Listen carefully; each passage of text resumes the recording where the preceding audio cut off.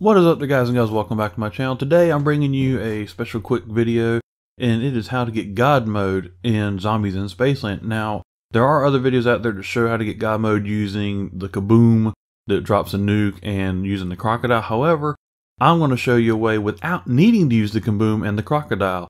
Instead, you actually just go to the rocket trap but you still need a rewind grenade and you still need to have the Up N' Atom perk. So without further ado, let me get into it and show you exactly what you need to do to get God mode the easier way. Alright guys, so once you have one zombie left, what you need to do is you need to head over here towards the rocket trap and journey into space.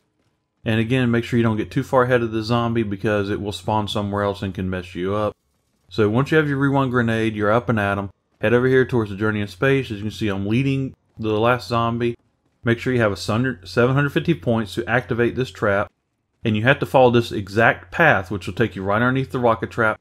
And once the zombie gets to the very top of the stairs, then activate the trap and activate the rewind grenade.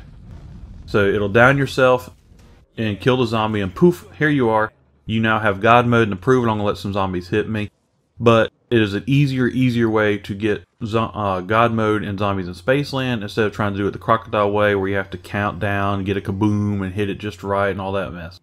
So hopefully this way, guys, will help you learn how to do or help you figure out how to do God mode very easily in Zombies in Spaceland. And if you like this video tutorial, feel free to hit that like button, subscribe. That way stay notified of all my future video uploads and tutorials. And I do have several others coming out, including the full tutorial on how to do the main Easter egg which is not going to be as long as others, but it will be very, it'll be about seven minutes or so. But it shows you all the steps on what you need to do to complete the Easter egg. So again, guys, hopefully this video helped you figure out how to make God mode um, in solo pretty easily. And I will see you next time. Until then, happy gaming and later.